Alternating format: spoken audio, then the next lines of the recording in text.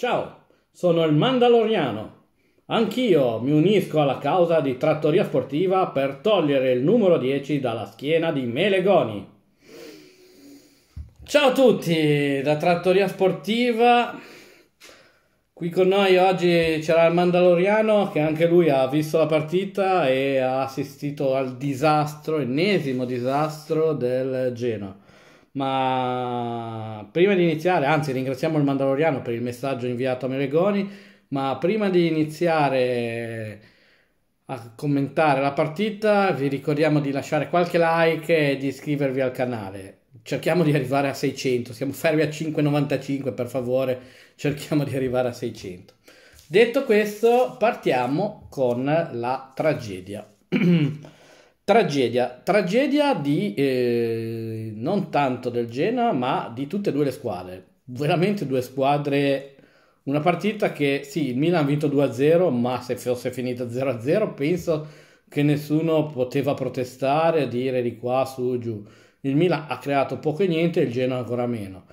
il primo gol del Milan è arrivato da una cross da tre quarti dove Efti incredibilmente si è fatto anticipare dalle AO, non so, mm, cioè ha visto partire il cross invece di guardare il pallone, in, a scuola calcio insegnano che tu non devi guardare il pallone, ma devi guardare l'avversario. Probabilmente a FT non gliel'hanno insegnato, o perlomeno se l'è dimenticato col Milan perché nelle precedenti partite ha sempre giocato bene. È vero che Leao è sicuramente un giocatore molto veloce, però eh, il cross arrivava da tre quarti, forse magari un po' più di intelligenza serviva. Poi Leao ha fatto un grandissimo gol perché l'ha piazzata benissimo. Anche lì bastava forse sbilanciarlo, perché niente, 1-0 dopo un, niente incredibile, perché comunque non è che sia stato un, un, è stata una partita all'inizio molto frenetica dove le due squadre mm, non si sono studiate per niente, ma hanno cominciato a correre e a sbagliare in continuazione palloni su palloni, passaggi semplici. Non c'era una, nessuna delle due squadre che riusciva a controllare il pallone. Poi arriva questo gol e figurati, noi non riusciamo a segnare un gol, figurati se, rie, se riesce addirittura a pareggiare a San Siro e cercare addirittura il sorpasso, lasciamo perdere. Uh, piccoli un disastro, Oggi proprio non correva, sempre anticipato, leggeva sempre le palle in modo sbagliato, eccetera, eccetera. Poi, secondo tempo, sempre sulla falsa riga del primo, poche azioni del Genoa, eh, anche con le sostituzioni, che poi andiamo, poi andiamo a commentare le sostituzioni. E, e, poi nel finale, vabbè, arriva il 2-0. Boh, forse c'è un tocco di mano, di spalla, va bene. Poco, poco poca, ne, poca differenza fa. Ehm, andiamo a commentare una cosa um, un, po', un po' particolare, nel senso che, allora, io parto dall'inizio. L'effetto blessing è finito. L'effetto blessing è durato 8 partite eh, dove abbiamo pareggiato troppo e dove abbiamo buttato via la salvezza. Eh, non è a San Siro che dovevi vincere per salvarti, ma era in casa con l'Empoli che dovevi vincere. In casa con, l'Udinese dovevi vincere con la Salernitana in casa. Quindi adesso non stiamo a recriminare su una sconfitta a Milano perché non, Milan si gioca lo scudetto, anche se delle tre che si stanno giocando lo scudetto forse è quella che gioca peggio però è concreta, nel senso le sue azioni, fa due azioni ma quelle due azioni le mette dentro. Ma vabbè, a parte questo, a parte parlare del Milan che non compete a noi, eh, il Genoa ha buttato via la salvezza molto prima, adesso non è che mm, ci andiamo a dire dovevamo vincere a Milano, no, dovevamo vincere in casa con la Salernitana, dovevamo vincere in casa con l'Empoli sono quelle le partite dove ti giocavi la salvezza, non certo col Milan. Ma a parte quello, eh, e a parte dire che l'effetto blessing è finito, e abbiamo un problema blessing però. Un problema blessing che probabilmente non sa più che pesci prendere, perché se andiamo a vedere... Allora, io in live l'ho detto, Piccoli sta facendo poco e niente, era anche servito male, tutto quello che volete. Ekuban anche lui poco servito ma qualcosa faceva e Amiri era l'unico a, dietro alle due, queste due punte che riusciva a fare gioco. Io in live l'ho, de- l'ho detto, sei sotto di 1-0, togli Frendrup perché comunque non stava giocando granché bene, metti eh, Yeboah e provi un quarto d'ora con Ekuban, piccoli Yeboah e dietro Amiri. O se no, l'altra ipotesi era tolgo Frendrup, metto destro, gioco con piccoli e destro, arretro a Miri, un po' più indietro e, arretro a Miri e metto sulla tre quarti Ekuban oppure sposto Ekuban sull'esterno, Amiri lo metto un po' più eh, sull'esterno provare per cercare di provare a smuovere qualcosa. Invece qualcuno ha pensato di far peggio. Esce piccoli ed entra destro. E, e vabbè, lì hai questa idea, ci può stare. Ma arriva il disastro.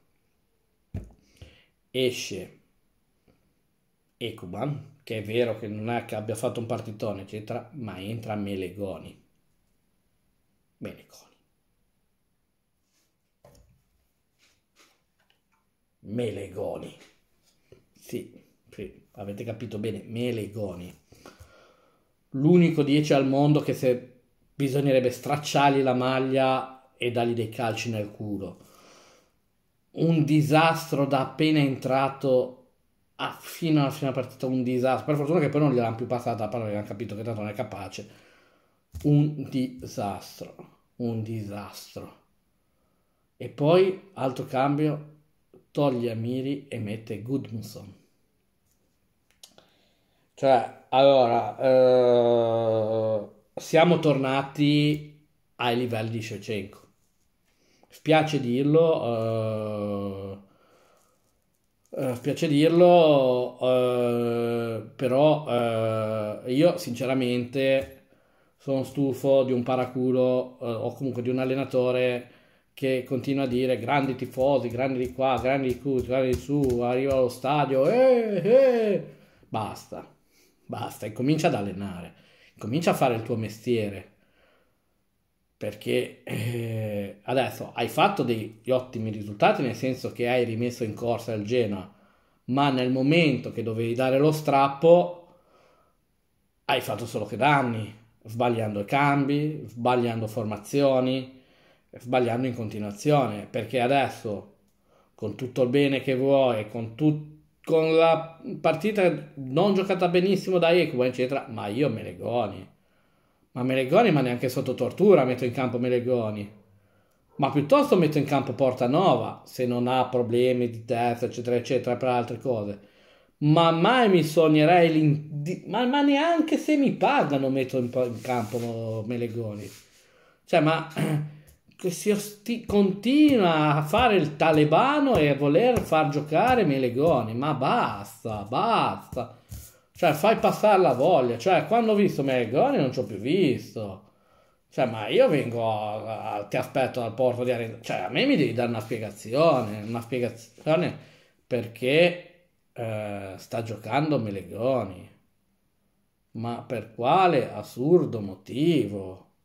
Ma perché Melegoni? Perché Melegoni? Ma, ma porca puttana, ma non c'hai altro che Melegoni qua cazzo di panchina. Ma cosa avrà fatto mai sto ragazzo?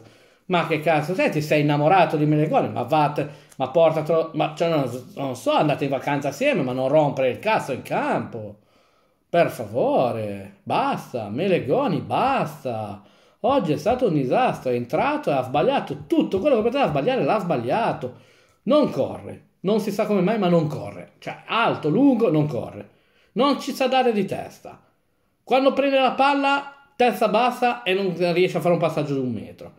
Tirare e lasciamo, a qualcun altro perché ha fatto un tiro è andata dall'altra parte dello stadio. Ma basta, ma perché? Cioè, io vorrei capire, cioè io adesso fossi un giornalista, con tutto rispetto, la prima domanda che gli farei a, a, a Blessing sarebbe per quale assu- perché hai tolto Dest, Piccoli ed Ecuban per mettere Destro e Melegoni? Cioè, con quale idea perché tu togli piccoli e metti destro, va bene, ci può stare, non ci sta, ma ci può stare. Ma non capisco la sostituzione di Meregoni e Ecuba. Cioè, Meregoni non è capace a fare l'esterno, Meregoni non salta l'uomo neanche se lo spingi. Ma cioè, con quale assurda idea? Boh, non... Cioè, veramente... Eh, mi piacerebbe veramente fare questa domanda a Blessing e capire quale eh, strumento tattico era quello di inserire Melegone al posto di Ekuba. perché, eh, ma non perché Ekuba stesse giocando bene, eh, per carità, Ekuba non stava giocando bene per niente, ma non Melegone non ce lo metto, ma non ce lo metto, ma metto Yeboah piuttosto di, me, di Melegone, perché non metto Yeboah al posto di Ekuba? Io non lo so, non... poi va bene, tanto anche Yeboah, ma non penso che non abbia visto tra palle. Non... Poi vabbè ha giocato Bani, dai, lasciamo stare. Eh, ripeto, non era Milano che dovevi vincere, era Verona che dovevi vincere o comunque portare a casa un punto.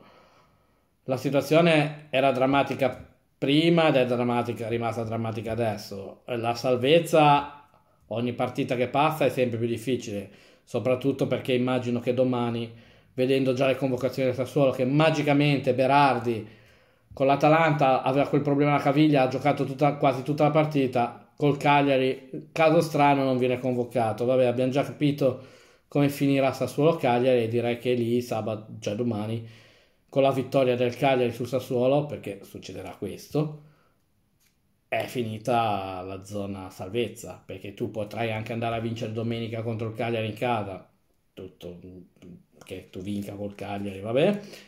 Eh, puoi anche andare a vincere quella, ma comunque rimane a meno 3.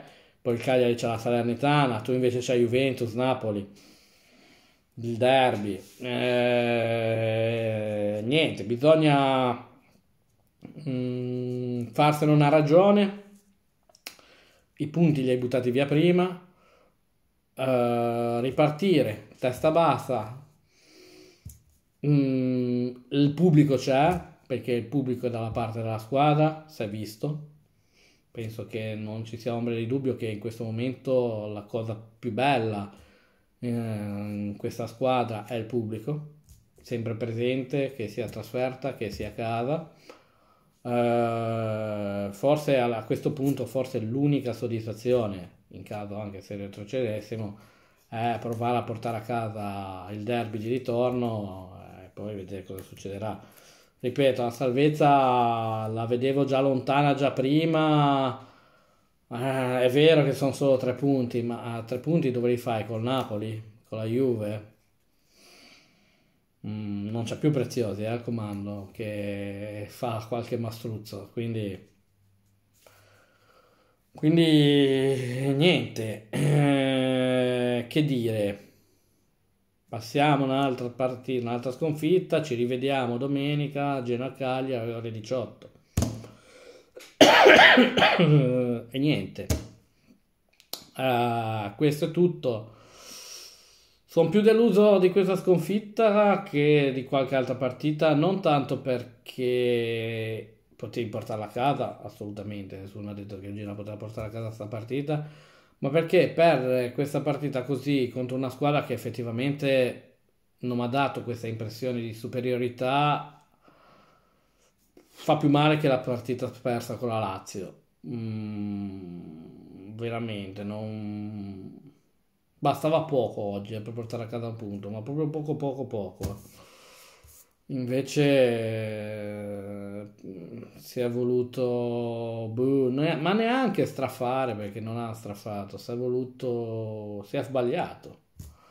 Si continua a sbagliare, Efti non ha mai sbagliato la diagonale, stavolta l'ha ceffata in pieno. Uh, e poi vabbè, eh, Leao l'ha messa proprio bene, bene. Eh. Però, boh, mm, veramente demoralizzato perché è una sconfitta veramente che... Mh, mm, ti, che ti demoralizza. Poi ti demoralizza vedere veramente gente come Melegoni in campo, veramente quello è proprio il nostro ultra del senza senso. Non...